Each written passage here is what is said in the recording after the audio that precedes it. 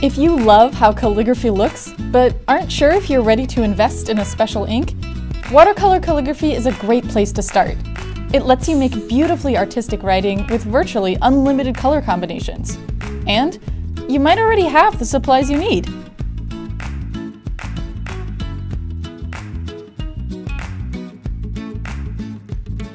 You can make watercolor calligraphy with a pointed pen or a brush. We'll use a brush in this video. You will need watercolor paints, water, a paintbrush, and heavy paper.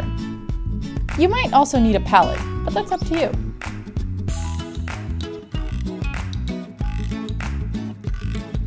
Prepare the paint by adding warm water and letting it sit for a minute or so, so that the colors are more intense.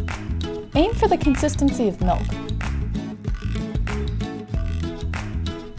Mix the colors to the hue you want in the lid from your watercolor set or a separate palette. Twist the brush and the pigment to load the paint evenly on the bristles and ensure a controlled line. Now you're ready to write! If you'd like some tips on strokes, check out the blog posts in the boxes on the screen. You will run out of paint quickly. When that happens, just reload your brush and keep writing. The new paint will blend in seamlessly.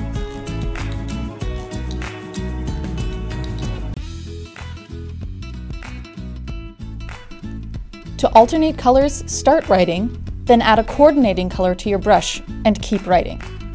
You don't even need to rinse out your brush if the colors go well together.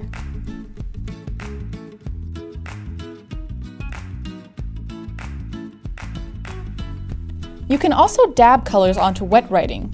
Use a heavy paper and tape it down to prevent warping. Then, use a brush to write in plain water.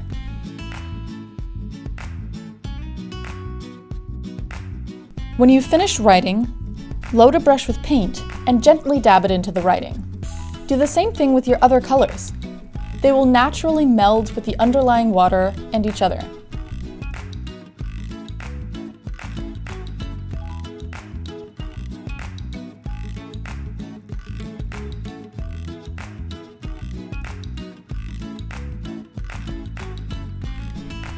For an artistic faded effect, use a water brush.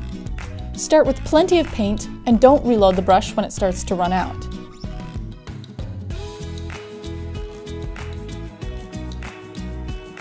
You can also mix watercolors with water-soluble ink. Fill a water brush with a less saturated ink. Using a separate pan, dip the brush into the watercolor and write. The color will come through for a subtle effect.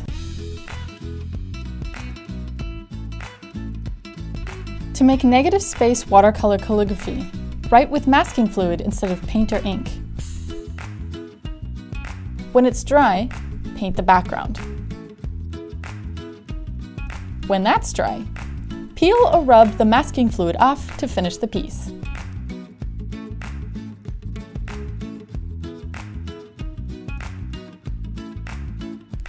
If your brush doesn't write well, the paint could be too thick or have dried out.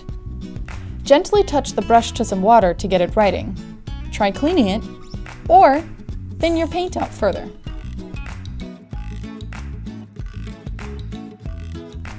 If you feel like your brush isn't doing what you want it to, try holding it closer to the tip for better control.